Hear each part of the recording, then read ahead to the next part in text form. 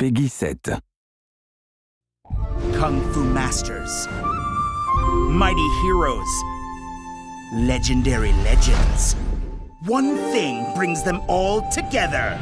Noodles for everybody! Sorry. The showdown of legendary legends. It's this awesome tournament where all the Kung Fu Masters face off, up to four warriors at a time.